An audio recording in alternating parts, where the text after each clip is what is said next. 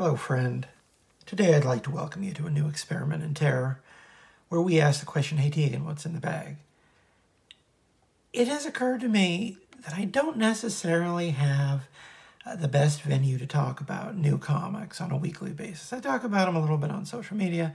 Uh, occasionally, I put one on my TikTok or my Instagram channel, uh, but I try to avoid them. Nothing new on um, what's in Tegan's storage locker. But then I realized, well, you know, maybe it might be interesting to change things up a bit so that I can actually talk about new and interesting books that I'm reading. I think there's a, I think there's more of a demand for that actually than for the older comics material, which isn't necessarily something that I think was completely clear to me like a year and a half ago. Uh, but it definitely seems like there are different ecosystems for the comics internet. And that doesn't make sense to me because I like all comics. I like new comics, I like old comics. I like learning new things about comic books every day. I like to think that there is nothing in comic books that is completely alien to me, or at least I hope not, because uh, I really just enjoy comic books. I'm still enjoying uh, Hama's return uh, to G.I. Joe, and I, will point out here my my store is so nice enough to give us the bags and the boards. Sometimes they give, sometimes they give me the resealable ones. Not a fan of those. I use them if they come my way, but uh, and then I say that and I never actually tape them up so they all get dog-eared. But yeah. I'm still really enjoying this. Enjoying it, frankly, a lot more than I would have uh, possibly guessed. Uh, I missed out. I've read the Marvel run. I've, I've read through the whole thing, and I read bits and pieces here and there when it was at the other publishers. So if ever I decide to go back and do a, re- a read through, there's a good half of the series that's completely, more or less, unknown to me. And the fact that it was basically being made for fans of the comic without any real connection, I think, to the toy line as it exists now, meant that he wasn't under the same pressure to introduce something new. So the weird thing is, uh, the later G.I. Joe, it, it's missing a slight uh, bit of electricity that came from Larry Hama basically having to play dodgeball with some, frankly, onerous setup sometimes. Hasbro just threw him any old thing, and he had to make it work. Even the cop in the Hawaiian shirt, even the spaceship. And that gives that series a charm that the, the later material, when he's just got his characters that he wants to deal with, uh, you know, you lose something from seeing the tap dance. And I, I know that that would, hearing that would probably give him give any writer of licensed material a headache, but but it's true. It's the same with Marvel's Transformers series. It was it was fun to see them, uh, in hindsight, deal with the balls that are that are thrown at them. And this issue has art. I don't know. It probably says in the back. I don't know if Paul Pelletier is going to be the new artist or an artist for a stretch, but I just looked at an issue of Green Lantern on the last episode of the the storage locker that I recorded. Always really liked his work. Uh, happy to see it here. Inks by Tony Kordos, uh, colors Francesco Segala, and it's got a, a flatter and a colors. One of these days, someone just needs to sit me down and walk me through every step because as many times as it's been explained to me, I do not know. I do not think that I could I could tell you what a flatter does, and I've, it's been explained to me so many times. And uh, the, these covers are still by um, Andy Kubert. Nice work from Andy Kubert. Nice pieces. So, yeah, we were dealing with. I'm, I'm going to go back and reread them all in a chunk at some point here to get the details. But essentially, it's it's really cuckoo. Uh, half of Cobra has been turned into zombies uh, just zombies everywhere. Destro's just not a part of that. I think what's happening is that someone's coming after the, the Dreadnoks for some reason or another. So that's why he's with Destro because uh, Destro's the one guy who he can trust, and Destro's like, why, why are you here? I don't actually want you in my house. And here's Snake Eyes. He looks like he's just uh, practicing in some sort of, uh, you know, G.I. Joe danger room. There's Scarlett. Everyone loves Scarlett. Everyone loves Snake Eyes. Everyone loves these characters. You know, I haven't, have not picked up any, any of those other, the new G.I. Joe books. Even the ones that had, I mean, they, they all have decent creators on them. Uh, but man, I don't really care about these characters as such. I care about these characters the way Larry Hama writes them.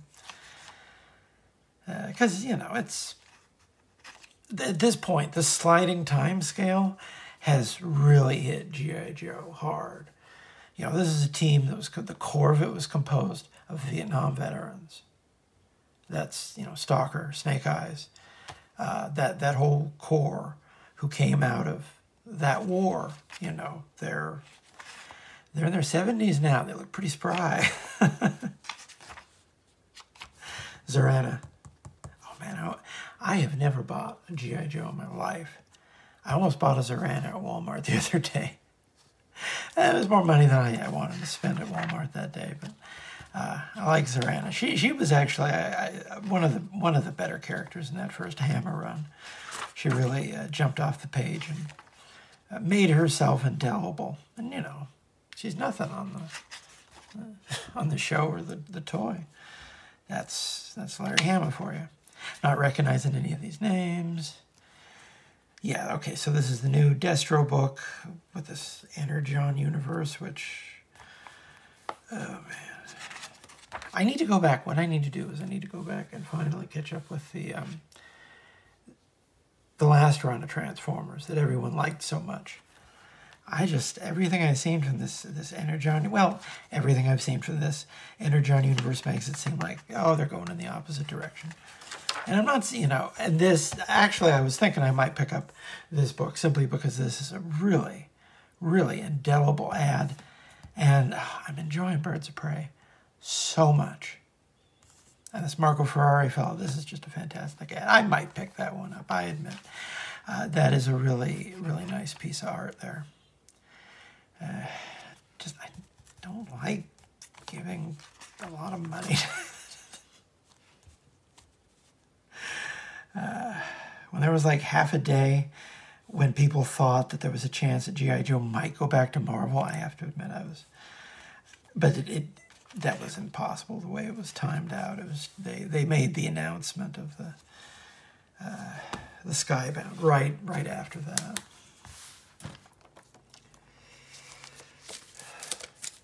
All right, what do we got now? Look at something fun here. Okay, now this one I'm actually thinking I might uh, read this on the, the TikTok channel when it's done because it is so strange, so strange to see Jeffrey Brown. And he's been on this family cart- cartooning stuff path for over a decade, I think. He was a pioneer in indie guys just moving into all ages material, straight up. Uh, he started doing Star Wars books, and I think those books started to really sell because uh, they made a lot of them, and he's he's done his own Batman in this style as well. And it's Jeffrey Brown who did all those. Man, those are books I do not necessarily want to revisit, if you know what I mean. They seem like maybe they're just of a place and a time. But he knows how to draw really a really attractive comic by now. It's not at all what you do, you know get from most of the rest of the DC line, but they're publishing these are this is a republish of a um, a, YA format graphic novel, and it says fan favorite story in an all new format and straight up. I have no idea if anyone else is buying the books in this format, but I I appreciate it. I like periodicals. I like buying comic books. Uh, I bought this one as well. This is that they're I guess they're rewarding popular books, or you know there's a pilot program. But I'm definitely open to this material in this format because I never really you know I like the look of a lot of the OGNs that DC's doing lately. I look through them at the store, but I don't. I never know if I ever, if I have another fifteen bucks to put in the cart that day. Um, this is this is you know so if they're narrow casting to old people who are still you know attached to the pamphlet format, they're doing a good job because they're putting out good, really good work in you know as YA books with a spine, which is what people, well, like me and everyone else was screaming at them that they should be doing 15 years ago, and they finally caught up with it. And the market, you know, they caught up with the market in a big way because you know, one of the DC's big free free comic book day offerings was uh, a big Barda YA book. It looks great. It looks like it'll do gangbusters. That's it. That's a great character to put in front of, uh, you know, ostensibly younger readers. Perfect hook. And it seems like a format that might expose that character and that whole family of titles historically to a brand new audience. That's great. That's fantastic. Young Alfred. Wait a minute, we already got Young Alfred. Young Alfred was that Pennyworth show on streaming that inexplicably became a prequel for V for Vendetta, but like straight up I don't watch a lot of these shows, and randomly my family decided to watch watch Pennyworth, and we actually got sucked into it. We liked that one. It was just so far out. Uh, took a lot of liberties, and it had been it had fun with the, the little corner of the mythos because of that. Oh wait a minute. Uh oh. You see this? I don't know if you can see this. It's a um, looks like a low res scan of this page. Now, this page is fine. There's no reason why that had to happen. Uh, mm, mm. But, you know, it's just hanging around the, the Bat uh, mansion with, you know, Robin as a friend who has absolutely no no idea that, that he's Robin, so he gets to have normal interaction. That's actually a really good hook for a Robin story. A really good hook. Robin has a friend who has nothing to do with superheroes. this is great. See, now the thing is, if you put this on a page of like Coober Skeeber, the Marvel benefit issue, it would fit right in. And this isn't even the Bizarro comics. This is just straight up getting sold, you know, in the Scholastic book fairs. That's fantastic. That's fantastic. Just this is. I'm sure I'll enjoy it when I sit down and actually read it cover to cover. But just flipping through it, it's just a really fun looking book. This looks fun. Introducing Ernest Fan, the world's biggest Batman fan. That sort of seems like a comedic take on the really weird. Uh, the real worlds. They only did like three or four from the real worlds line, which was just sort of kind of depressing short stories. Oh, that's cute. Batman sitting on the vending machine about people in the real world affected by the superheroes. Uh, character pieces. And the Batman one, I think, was kind of depressing, if I recall correctly. I don't know if they've ever even put those in a in a book. Uh, Bruce Wayne not super. Eh, okay, I see who I see who the audience is, but that's not necessarily. Although seeing Bane uh, not um, shaking down the kid for his lunch money. Now you know whenever Batman has stubble, like serious things are afoot, and they're still making all these Teen Titans Go books. God bless them. They were so popular that these little guys are why those characters are going to be popular for decades. I hate to say it to someone who does not like the Titans. Even I like those guys. And another of their previews was for that book. This looks cute. I, I don't know if it's cute enough to pay full price for. Maybe I'll flip through it in the store. The Joker's dog. All right, well, we look through a couple. Let's do a lightning round here. Here's a book that I'm really enjoying haven't heard anyone say anything about it, but it's penciled by this guy named Bengal, who did some Catwoman that I really liked a couple years ago. He's, he's got this super clean style, uh, you know, very European, but uh, look, look, at this. This is gorgeous stuff. And written by Rick Remender, so I've just flipped through it so far. I'm waiting to sit down with the whole thing when it's done. But look at this. Look at this. This Bengal fella. Who's coloring this? This is, uh...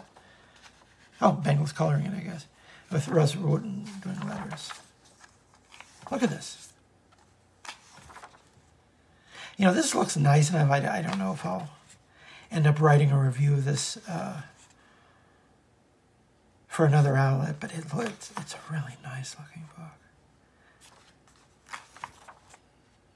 Ooh, that, that's that's a final page for you. And I got some letters. Excellent. All right. What else? Oh, this thing. Are you buying the Batman Dylan Dog? I wasn't buying it at first, but so, someone online, uh, maybe it was, uh, no, I don't remember, but someone pointed out, like, yeah, there's a $5 comic book that is inexplicably like 80 pages long. And then I, next time I was in the store, I picked it up and I looked through it. And it's, you know, this Batman crossover with this Dylan Dog guy who no one in America knows who he is at all. Don't, don't even bother worrying about it. But this is by Italian talent Roberto Recchioni, Gigi Cavigno, Cavenago, rather, and Werther Dell'Edera. Uh, lettered by Pat Brosseau. Who's the translator? Oh, oh, maybe they did it in English.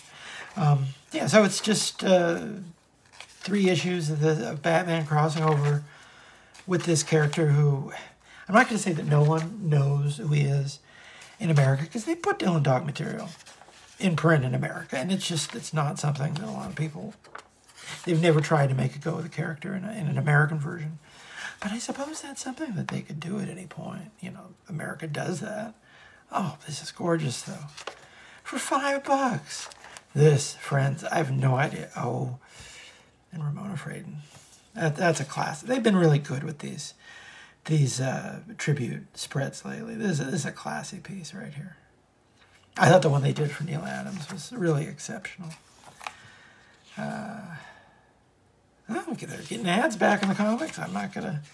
Oh man, look at this. This is great stuff. Eh, you know, I have no idea what's going on here. I'll go back. I'll read it at some point. I don't know if I'm going to do it on the TikTok because 80 pages means like a three, a three minute video. I learned my lesson on bloodlines. Oh my God, we're done with bloodlines. Let's celebrate being done with bloodlines. And I'm still double dipping on this uh, this run of Amazing Spider-Man, the uh, alien costume facsimiles, which I'm going to be honest with you, I I already have this run of comics from Marvel Tales. I didn't have the original versions though, so having having them with the uh, the ads uh, plus any example to look at classic Ron Frenz. I've said in the past, you know, his Amazing Spider-Man actually isn't his best, simply because he improves so much over uh, the, the, these these couple years on his way to Thor, and it's Thor where he really starts to mature. But that doesn't mean there's a bad book in comics by any event, uh, by any reason. He's good with Joe Rubinstein. Oh, that's a nice looking page. That is a nice looking page he's good with Joe Rubinstein. Joe Rubinstein doesn't work with everybody. He works well with Frenz. Frenz is a guy who really uh, rewards creators who can put some texture on the page. That's why his work looks so good with Bill Sienkiewicz. And what else? Okay, I admit I picked up this one too. I've been buying this simply because, and don't laugh at me because it's got the uh, the the introduction of the alternate universe uh, female Wolverine, not Wolverine's clone or kid, the female, you know, the distaff version. I'm like, eh. Uh, I oh god, this thing. Marvel Unlimited, man, they're getting good people. Germán Peralta, Kev Walker, Juan Jose Ryp, Juan Ferreira, David Baldeón. They're getting so many good people to do this. And it just, man, I just, ever since they made him look like that. Hey, if you bring back Dracula looking like Dracula should look like. Who did this? Christos Gage, Yildiray Cinar. Yildiray Cinar. I actually, I think I bought something his. Did he do the Grey Hulk book? I like the Grey Hulk book. The Grey Hulk book was, I think, a pretty fun ride. And this is, you know, this is just a bunch of Wolverines trying to kill each other. It's great. oh, Deadpool. Well, there you go. That'll sell some copies. So I haven't read it. They're going through space and time looking for um, Onslaught or something. It's fun. I'm sure they'll end up doing something with the, that character. And maybe the, this series will be worth a lot of money someday. That's not why I bought it. But hey, I'm not about... I've, I've flipped books. I bought the first arc of Ultimate Spider-Man. And I bailed because I saw it, it, it wasn't what I was interested in at all. I knew it was good at already it was doing really well by then. Book didn't need me. Um, so yeah, I made quite a bit of profit off of that uh, particular bit of commerce. All right.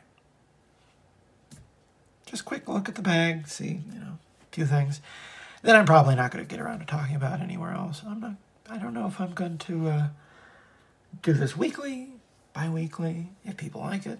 I don't know. I'm going to still keep doing the other videos.